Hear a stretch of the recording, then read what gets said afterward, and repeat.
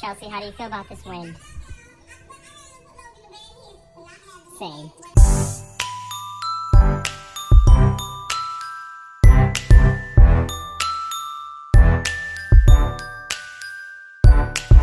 At first, this wind was like cute and fun and yay, it's windy.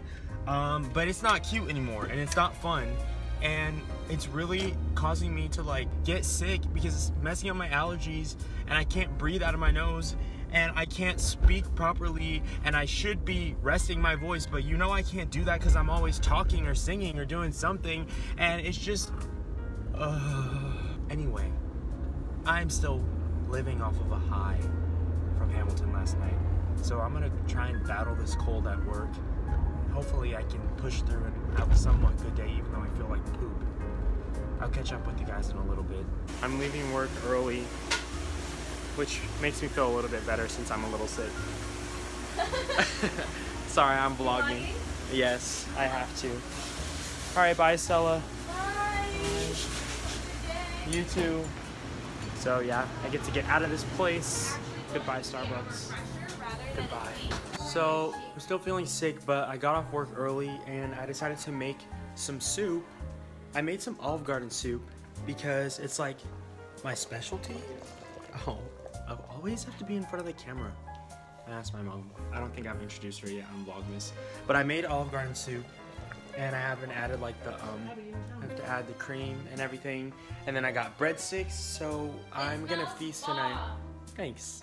I'm a pretty good cook but actually the only thing I can I can make is uh, Olive Garden soup so.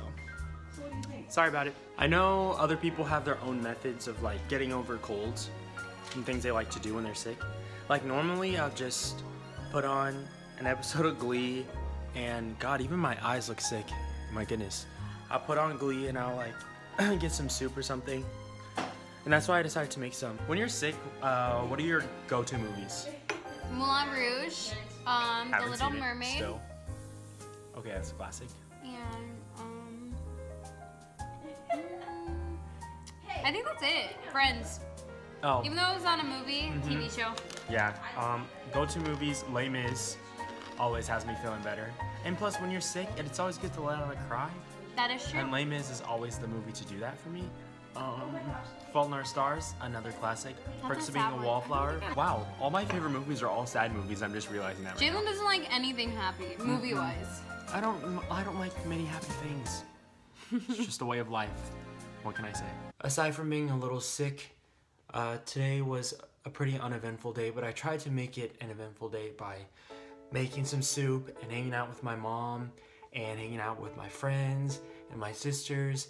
And I actually learned a pretty valuable lesson. Even when you're feeling sick or under the weather or whatever, you can still manage to have a pretty great day if you work at it. Well, that's all for today, guys. Happy Vlogmas. Merry Christmas. I'm gonna go get some sleep. Bye.